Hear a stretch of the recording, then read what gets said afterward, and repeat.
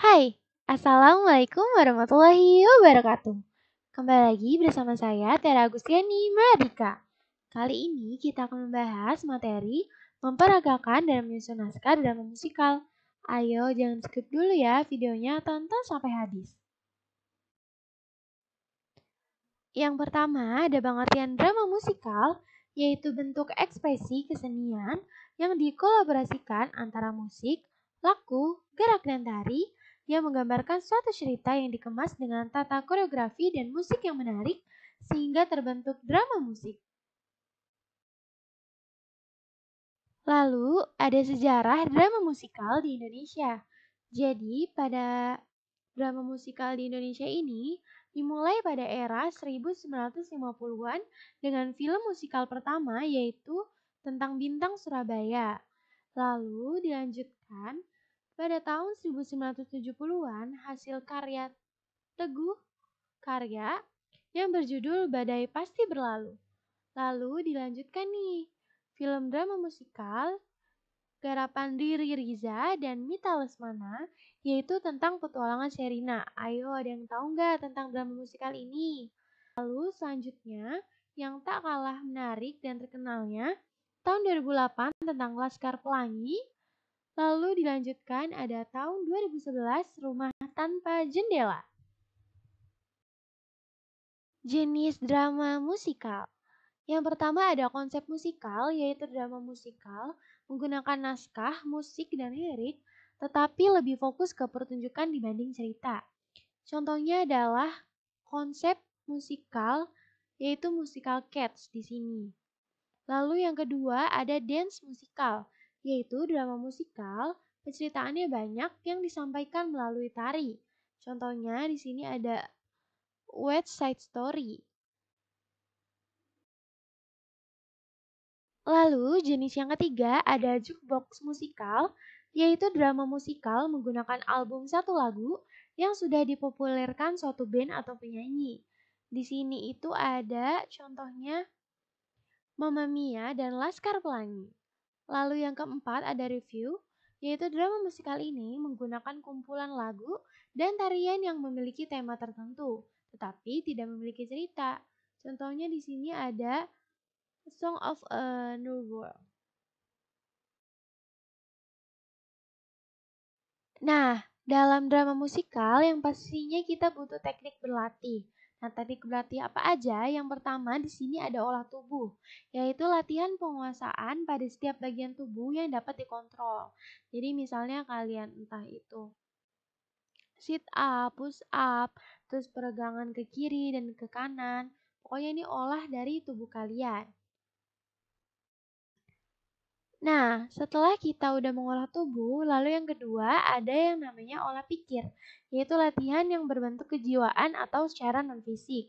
Di sini ada latihan penguasaan panca indera, yaitu peralatan tubuh yang digunakan untuk penglihatan, penciuman, perabaan, dan perasa.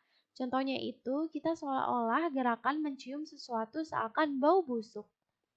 Lalu yang kedua ada penguasaan perasaan. Di sini terbagi lagi yang pertama itu ada konsentrasi, yaitu pemusatan pikiran dan daya ke arah satu sasaran yang jelas secara terus-menerus. Lalu yang kedua ada imajinasi, yaitu daya khayal atau membayangkan sesuatu. Yang ketiga ada observasi, yaitu daya pengamatan yang dipakai untuk memperhatikan lingkungan sekitar. Lalu yang keempat ada emosi dan perasaan. Emosi dan perasaan ini memiliki kaitan yang erat. Perasaan mendorong lahirnya emosi sedangkan emosi mencerminkan perasaan seseorang. Selanjutnya, teknik yang harus kita latih adalah olah vokal, yaitu latihan mengucapkan dialog agar terdengar jelas. Di sini yang pertama ada pernafasan. Nah, pernafasan itu terbagi menjadi dua. Ada yang namanya pernafasan diafragma, sama ada pernafasan dada. Nah, pernafasan diafragma ini sangat dianjurkan. Kenapa? Karena agar suaranya terdengar lebih jelas dan tidak kita sendiri itu tidak capek. Lalu yang kedua ada artikulasi dan diksi, yaitu apabila seseorang mampu mengucapkan huruf mati dengan baik dan jelas. Yang ketiga ada imajinasi vokal, yaitu menciptakan suara-suara yang tidak bisa dilakukan. Contohnya, menyuarakan suara kucing atau menyuarakan suara orang yang sudah tua. Lalu yang keempat ada irama.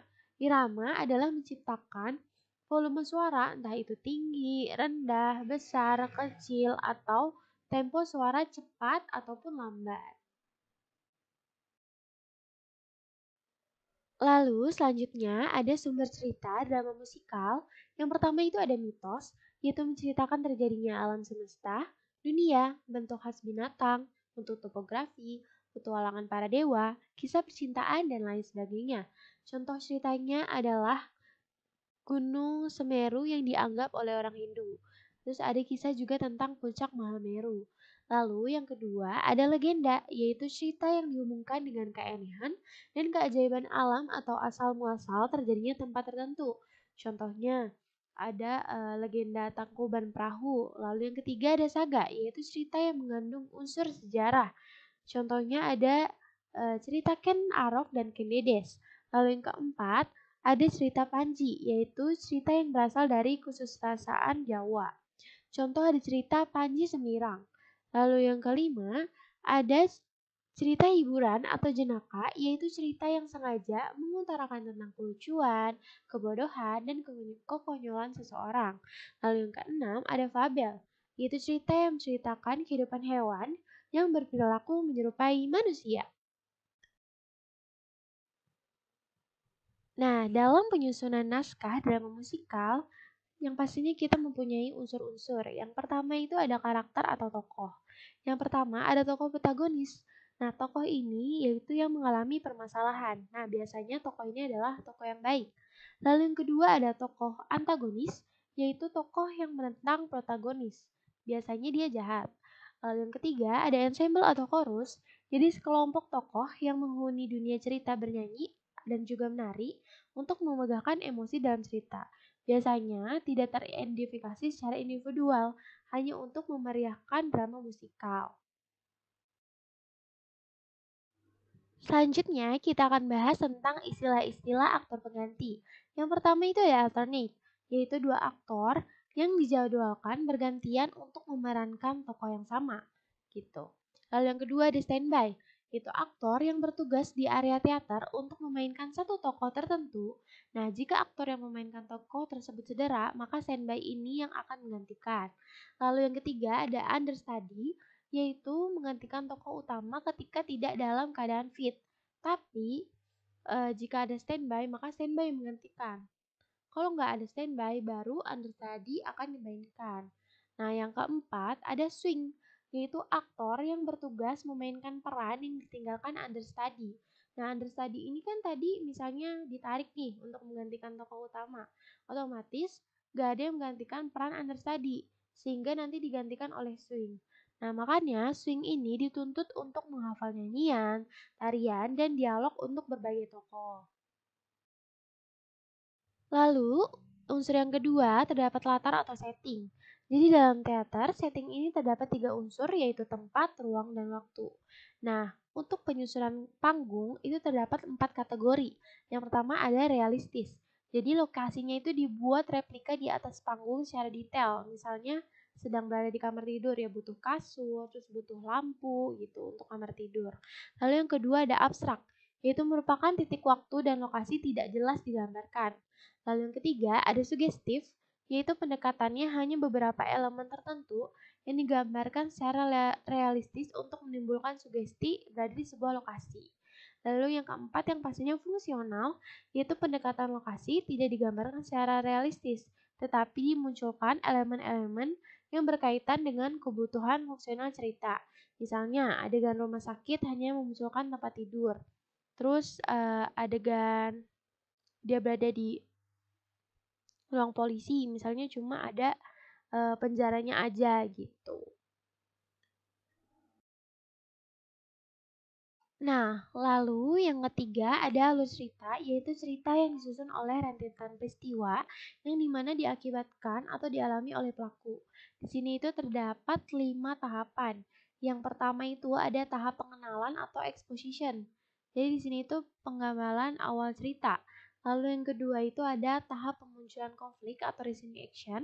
Lalu naik lagi nih ke tahap konflik memuncak atau klimaks. Nah, mulai turun nih anti klimaks gitu. Nah, yang terakhir ini penyelesaian atau kesimpulan dari cerita tersebut.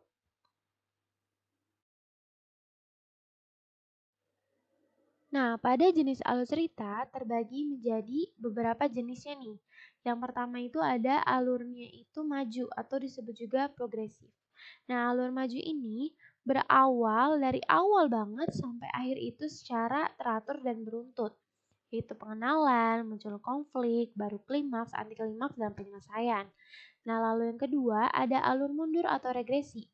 Nah, Alur mundur ini sebuah alur yang menceritakan masa lampau yang menjadi klimaks di awal cerita. Jadi kebalikannya. Jadi penyelesaian dulu, terus anti klimaks, klimaks muncul konflik, baru pengenalan. Lalu yang ketiga ada alur campuran atau juga disebut maju mundur. Alur campuran adalah alur yang diawali dengan klimaks, menceritakan masa lampau, lanjutkan hingga tahap penyelesaian. Nah, pada saat menceritakan masa lampau, tokoh dalam cerita dikenalkan sehingga saat cerita satu belum selesai, kembali ke awal cerita. Jadi maju terus mundur lagi, maju mundur lagi. Nah, contohnya di sini ada klimaks, terus muncul konflik, pengenalan, anti klimaks dan penyelesaian. Nah, dalam drama musikal yang pastinya yang keempat butuh yang namanya musik pengiring. Nah, di sini itu terbagi menjadi dua, ada yang namanya diegetik dan non diegetik. Jadi kalau diegetik itu adalah tokoh yang bernyanyi sadar bahwa ia itu sedang tampil dan ditonton. Contohnya di sini ada The Sound of Music yaitu tokoh Maria yang sadar menyanyi di depan tokoh lain. Lalu ada non digetik yaitu tokoh yang bernyanyi secara tidak sadar. Contohnya ketika Fantin dalam musikal Les Miserables sedang bernyanyi. Lalu di dalam opera juga di sini terbagi menjadi dua, ada aria sama resitatif. Kalau aria itu tipe lagu musiknya itu lebih sering kita dengar seperti pop. Nah, kalau resitatif yaitu tipe lagu yang mengadopsi ritme-ritme seperti berbicara yang hanya didukung chord pendukung. Selanjutnya, yang kelima, karena ini tentang drama musikal, pastinya ada koreografi. Yang pertama itu ada blocking, yaitu tingkatan pergerakan yang paling natural seperti berdiri, berjalan, atau duduk. Lalu yang kedua ada musical staging, yaitu tingkatan pergerakan yang berada di atas blocking, tetapi di bawah tingkatan detail dan presisi musikalitas dalam koreografi. Nah, baru yang ketiga ada koreografinya itu. Serangkaian pergerakan yang terorganisasi secara detail melibatkan teknik tari. Lalu ada tata busana dan tata rias. Jadi tata busana dan tata rias ini membantu mengkomunikasikan kepada penonton yaitu karakter yang dibawa pemain. Yang pertama yang pastinya itu ada analisis tokoh. Jadi kostum seorang tokoh itu harus mampu menggambarkan kepribadiannya. Lalu yang kedua ada extra engineering yaitu berkaitan dengan bentuk, pengukuran, bahan, dan jenis potongan gitu. Lalu yang ketiga ada eksposisi dan diferensiasi tokoh yaitu setiap tokoh penting harus dapat dibedakan secara visual dengan tokoh yang lain, sekalipun penonton yang duduk di balkon paling atas gitu. Jadi dibutuhkan yang namanya diferensiasi tokoh. Nah, setelah kita sudah bahas tentang unsur-unsur drama musikal, selanjutnya kita bisa menyusun naskah pementasan drama musikal. Nah, cara membuat naskah drama musikal yang pertama yang pastinya menciptakan setting atau latar. Jadi, latar ini adalah lingkungan fisik tempat penulis drama menempatkan aksi para pemain atau tokoh ciptaannya. Lalu yang kedua, ada penciptaan tokoh. Jadi dalam melukiskan tokoh, penulis drama melukiskannya seringkas dan setepat mungkin informasi-informasi yang ada di dalamnya ialah nama tokoh, usia, atau deskripsi fisik tokoh tersebut. Lalu yang ketiga ada meletakkan tokoh dalam setting. Jadi, seorang penulis drama harus memiliki kesadaran tentang segala sesuatu yang berkaitan dengan tokoh-tokoh yang diciptakannya, khususnya apa yang dilakukan tokoh-tokoh dalam setting dan bagaimana hubungan tokoh yang satu dengan tokoh yang lainnya. Lalu yang keempat, ada dialog tokoh, yaitu merupakan pembicaraan tokoh-tokoh di atas panggung. Yang kelima, ada penulisan adegan. Jadi, adegan ini kan bagian drama keseluruhannya ya. Nah, dalam tahap ini, seorang penulis ini tuh harus tahu nih, mulai babak satu atau adegan satu sampai adegan terakhir sampai penyelesaian. Nah, lalu kita juga perlu tahu nih dalam menyusun naskah drama ada istilah-istilahnya.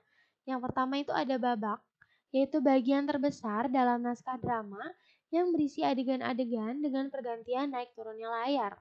Lalu yang kedua ada adegan, yaitu bagian dari babak yang menggambarkan suasana. Lalu yang ketiga ada prolog, yaitu kata pendahuluan sebagai pengantar untuk memberikan gambaran umum mengenai tokoh-tokoh cerita, konflik, atau hal-hal yang terjadi dalam drama tersebut. Lalu yang keempat ada dialog, yaitu percakapan antar dua tokoh. Lalu yang kelima ada monolog, yaitu percakapan seorang tokoh dengan dirinya sendiri. Yang terakhir adalah epilog, yaitu kata penutup yang mengakhiri pementasan drama. Alhamdulillah kita sudah menyelesaikan materi tentang drama musikal. E, cukup sekian untuk pembelajaran hari ini. Sampai jumpa kembali. Wassalamualaikum warahmatullahi wabarakatuh.